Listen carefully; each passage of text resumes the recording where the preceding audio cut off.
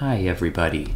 Today I'm just going to uh, show a bit of how I uh, develop, maybe develop is uh, a bit of a strange word for it, but how I uh, make the mod Half-Life 2 Chaos and what I uh, do on it and all that.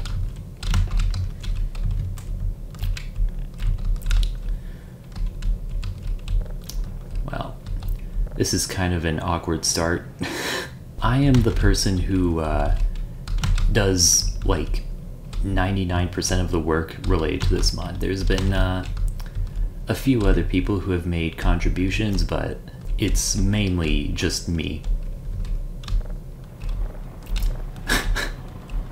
well, now this is really not going to move up.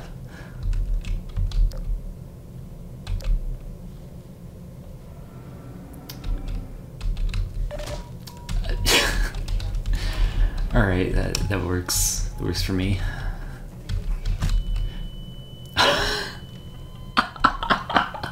so uh, my main my main way of finding issues to fix with Half-Life 2 Chaos is just to simply play play it, because uh, it's, it's it's pretty much guaranteed that eventually I'll, I'll find something. Although it is kind of easier. It's kind no, it's not necessarily easier, but it's more interesting and um, insightful if I uh, watch other people play it, like just random streamers on like Twitch and YouTube. So I, I go and do that sometimes too.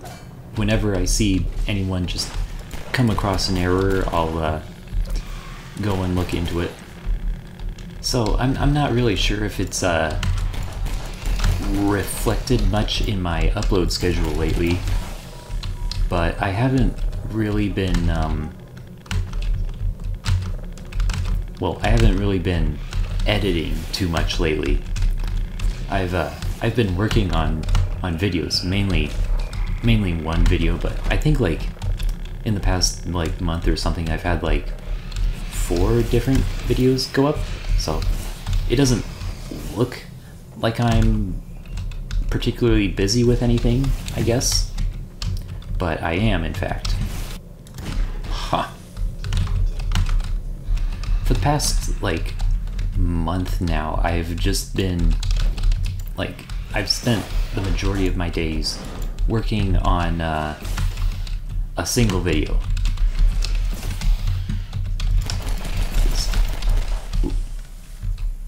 He did not animate it came to my attention, let's say, that uh, it was time to make this video.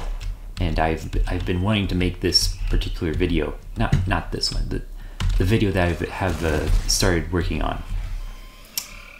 Dude, that timing. I've wanted to work to make this video for a while now.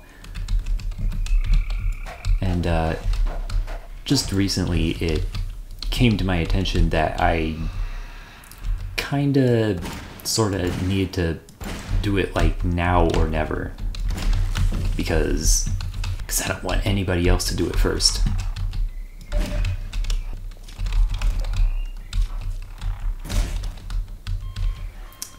Still got that. Solid triggers can be really annoying sometimes like it, it really like depends on the, the the map and where you end up being when it starts. Sometimes it's totally fine, but other times you're just kind of stuck there for like 40 seconds.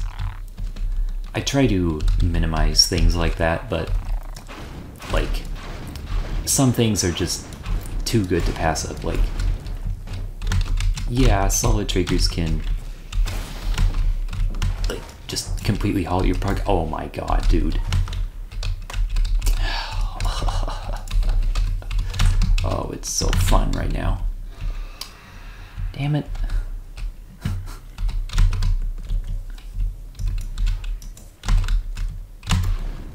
ha.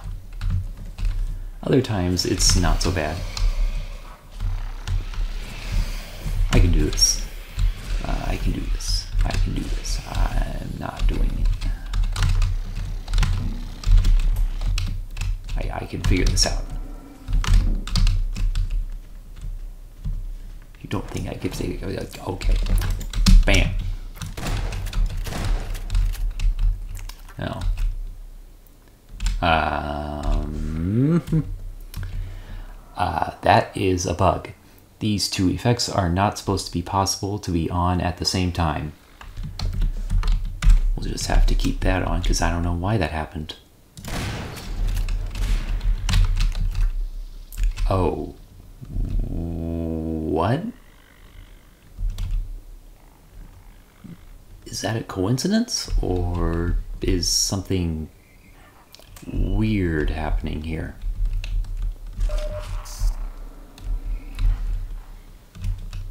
Okay, that, that cannot be a coincidence. Something really weird is happening here. Interesting. Well, if this pattern continues, then I think next we'll see uh, teleport to random place. Hmm. I don't know what to make of that. Um, that can't just happen. Nice. ah. Dude, this is like the third time that we've had solid effects in this video. Thinking that's not right. And then vexing Vortigaunt again too. Yeah, I'm starting to think that there's something that's gone wrong with the uh, RNG code here. There's some kind of pattern here. Where, what? Dude, where's that Vortigaunt? I legit do not see a Vortigaunt anywhere. What? I think he might have spawned behind the wall there. Interesting. That is uh, usually not possible, however, uh, displacements are not solid all the way through. So, in this scenario, that could have happened. Uh, the effect picks are looking like they're normal again, so I don't know. You know what? I have a uh, command for this. Chaos test RNG. Let's, go. Let's just run through the code a thousand times. This is what this does. That is taking a while. Okay, let's see here. Uh, what? Uh, these are looking pretty wonky. Let's try 10,000.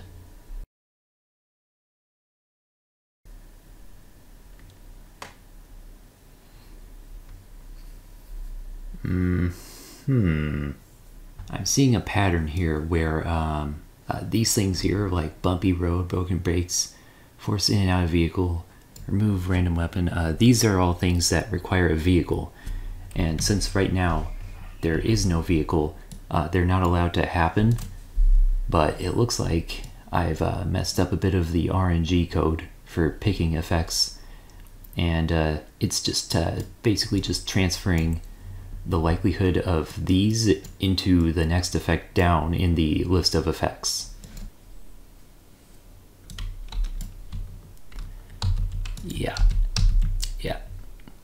Uh, I think that's I think that explains that. That's what's great about programming, just the tiniest little thing can mess up everything.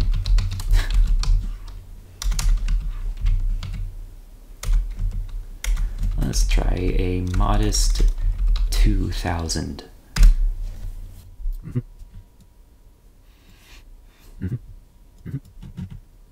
Okay, that's uh, looking a lot better. It was actually not fixed and I just thought it was because the RNG just happened to make it look that way. Fuck you, Monte Carlo.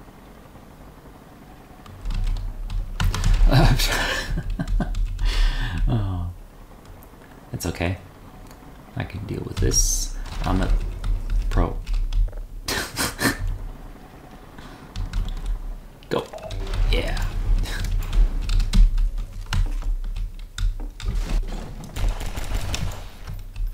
huh?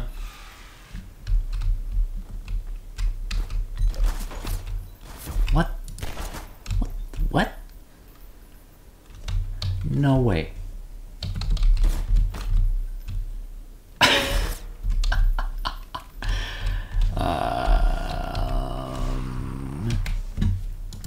I, I, I swear I've, I've seen so many people play the mod and I've played it so many times itself and I've never seen that happen twice in such quick succession. So this is where the mod uh, decides where to place an NPC that it wants to spawn.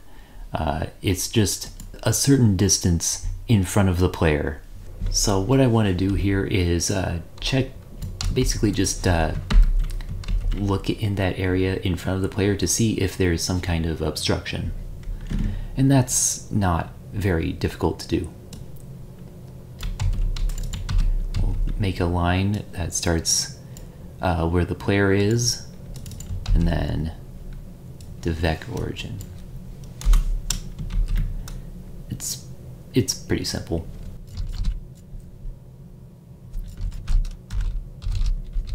Uh, mm, yeah, okay. And now we'll go back to that same place and try that again.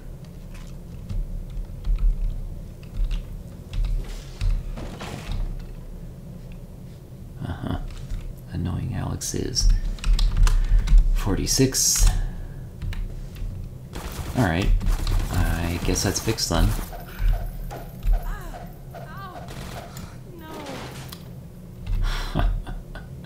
Nothing personnel, kid. I'm so funny. So before I end this video, I want to add in a new feature of some sort. And uh, one thing that I've wanted to, to do for a while is do something for this effect called Left for, Left 4 Dead. So, um, Half-Life 2 NPCs, they work off of these things called nodes. You can see them here every one of these uh, places where you see these lines converging, that is a node.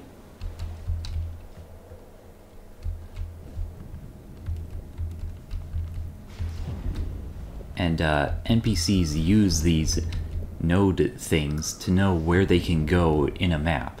That's that's interesting. And uh, the effect Left 4 Dead uh, works by using these nodes. This is the effect Left 4 Dead in case you're not familiar. It just spawns uh, a bunch of zombies at every node in, in like a general vicinity of you.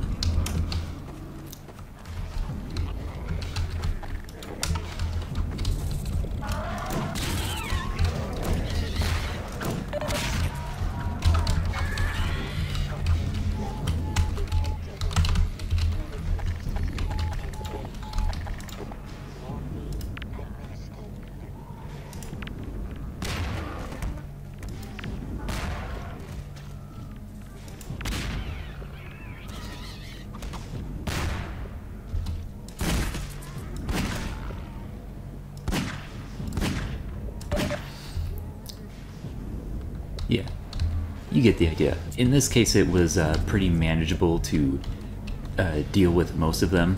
Uh, depending on the map, uh, nodes can be placed a lot more densely, and in those cases, it can be a lot more difficult to deal with Left 4 Dead.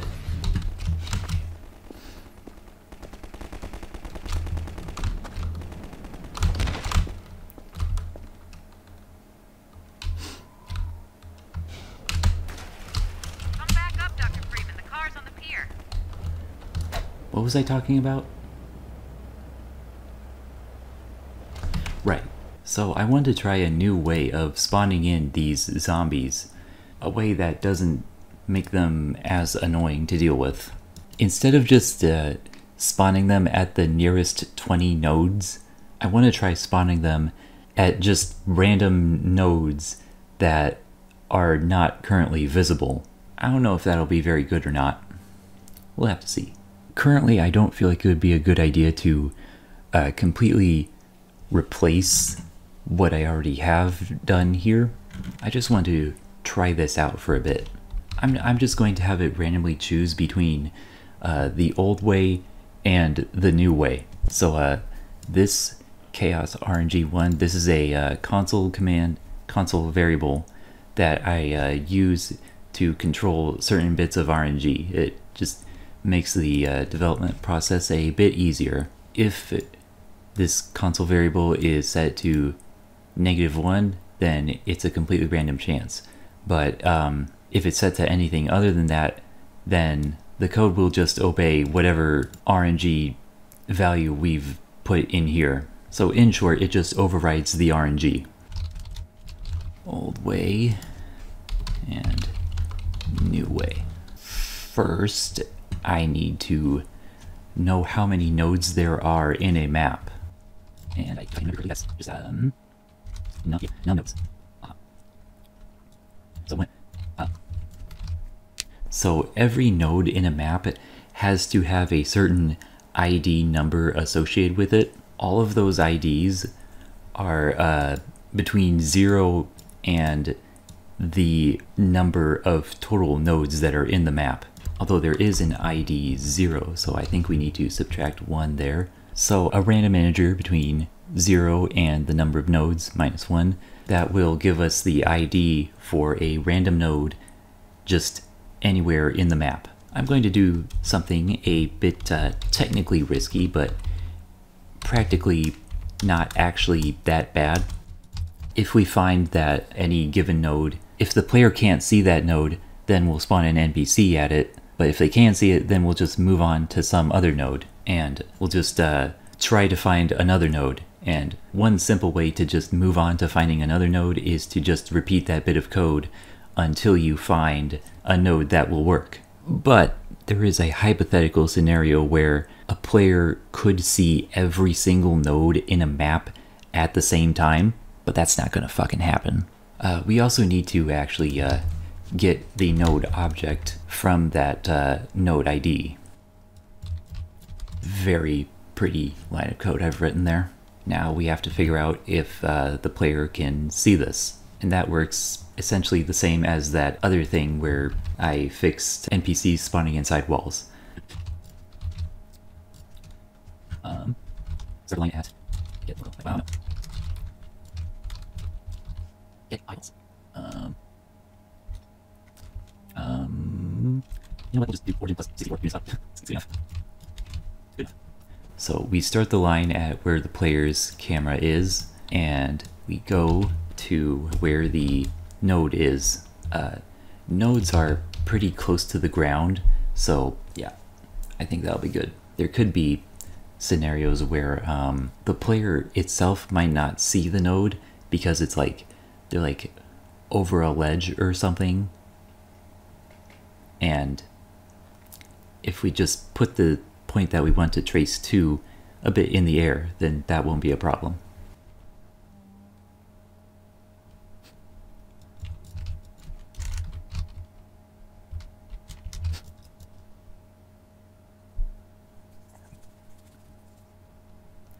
Oh, um, this mask visible, this will make it so that the line will pass through things that can be seen through, like windows and grating.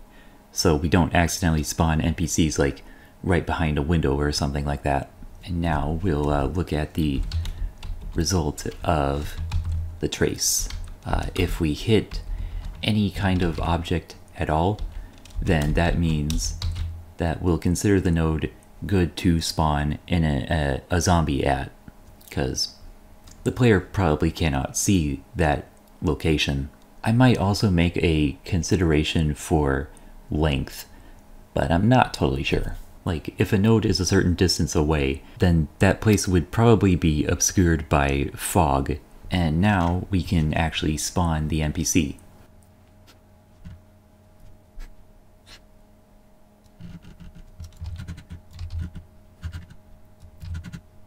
You might wonder what the heck is going on here. Uh, so in episode one, they added uh, zombines, and you can't just spawn a zombine in Half-Life 2 without doing some prior work to uh, make them work in Half-Life 2. They only work in episode 1 and episode 2, and I, I could just do the work to do that, but I don't really feel like doing that right now. And uh, in episode 2, same thing happened with Fast Zombie Torsos. So we have to check and see if we're in EP2 Chaos or EP1 Chaos, and in that case, uh, we will be allowed to spawn Zombies and Fast Zombie Torsos, depending on which mod we're in. And this is what this does. This figures out which mod we're in. Uh, we can kind of simplify this code here because it won't be applicable, I'm pretty sure. There are some certain considerations that had to be made for uh, the old way because sometimes the RNG would just kind of be weird and spawn 20 of like the same type of zombie. No idea why. I seriously don't know why that would happen. Never figured that out. So there is one last thing I want to do before we test this, and that is to change the name of the uh, effect. We'll call this Left 4 Dead 2, even though it's still the same effect. I'm funny like this. Let's uh, go and try it out. Uh, what is effect number again? 34?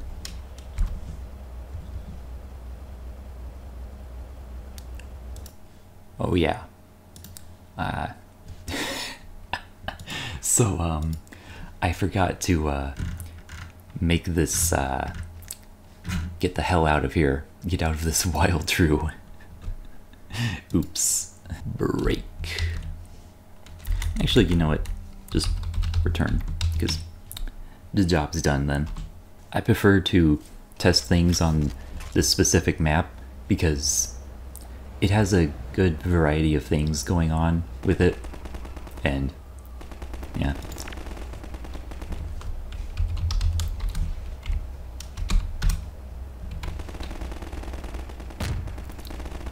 Uh-huh.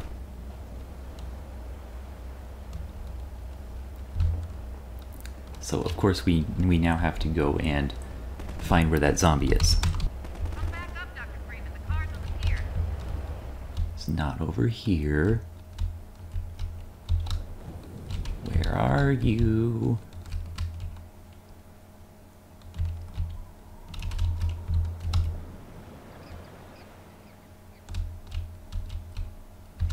Are there even nodes over here? Could be in here. No.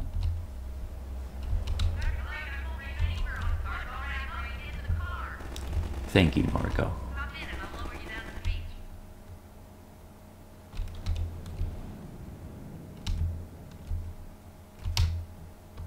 Oh. Oh. Here.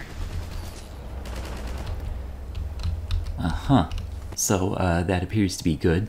However, instead of uh, having that spawn a, a, a, a single zombie at this part, we want it to uh, spawn continuously. We want it to spawn zombies uh, the entire time that the effect is going on. But that does mean we need to add a uh, time console command, console variable for this.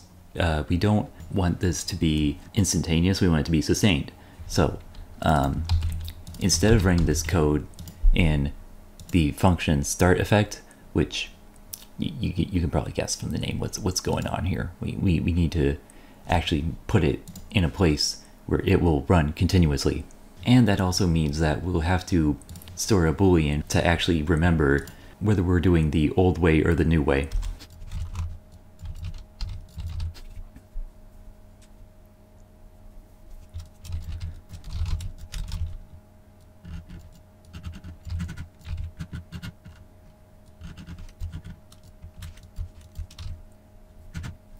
Okay, so now uh, this code for spawning a zombie should be running uh, once every second instead of just one time at the start of the effect.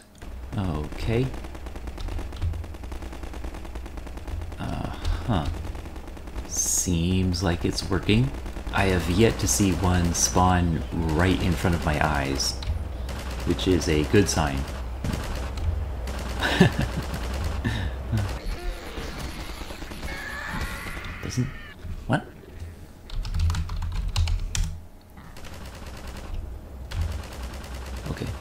everything seems to be working fine here.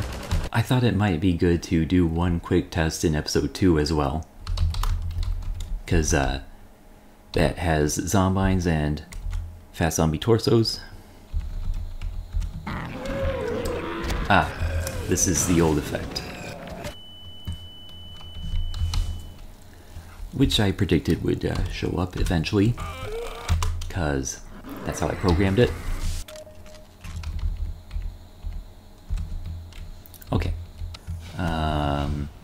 So, so far I have not seen any zombies, which is kind of weird to me.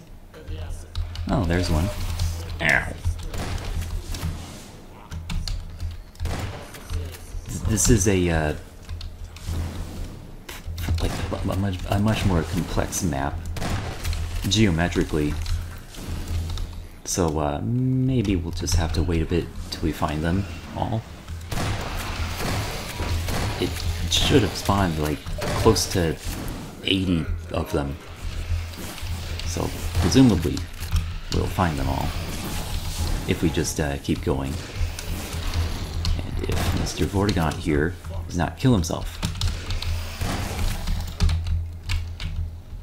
Can you just die already?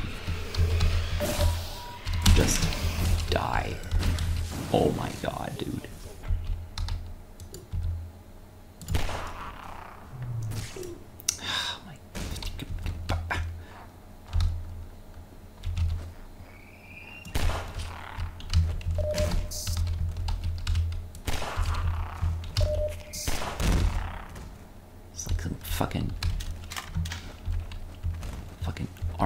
It's like fucking reverse skee ball or something.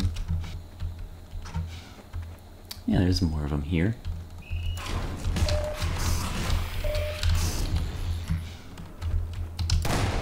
Oh no. Did, did that zombie torso just jump down?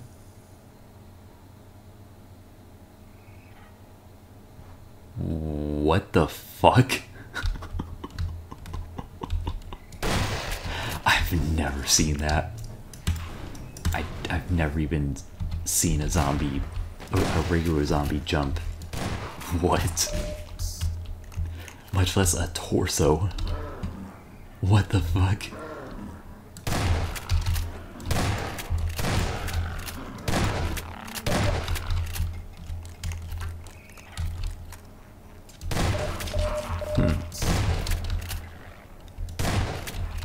Of weird that there's so many of them here, but we saw very few uh, up there in the caves. That doesn't necessarily mean that there's something wrong with the code, though. It could, it could, it could just be RNG being weird. It could also be the case that there just aren't as many nodes in the cave areas. You know what? Why don't we go and look at that while we're uh, playing here? Oh, yeah. A lot more. Yeah, that explains it. Ah, so beautiful.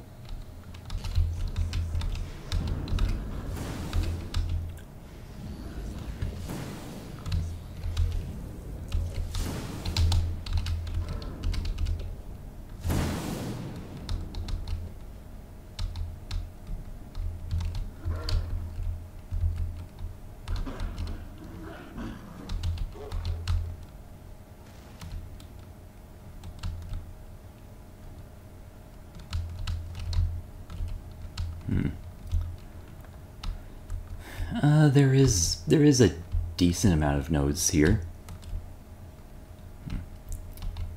I don't, I don't know what to make of it.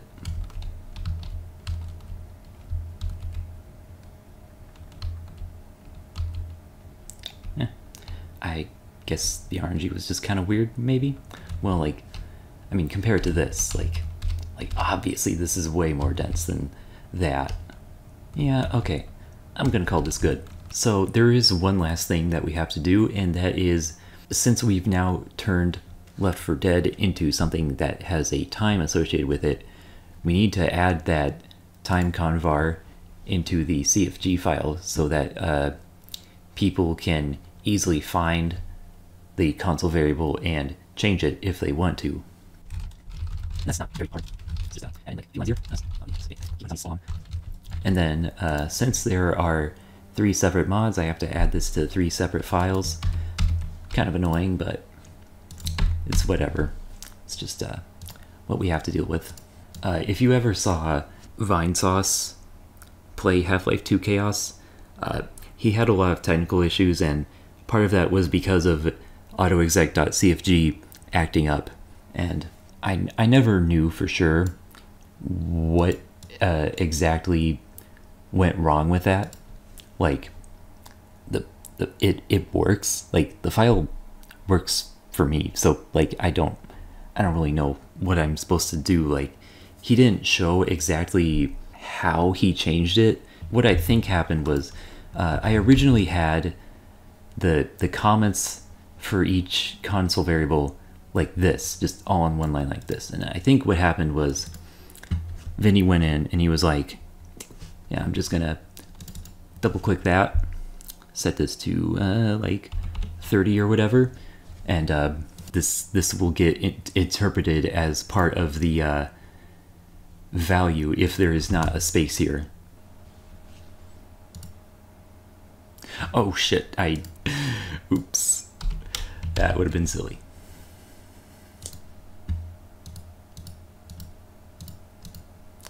That's why you check yourself. That's not important.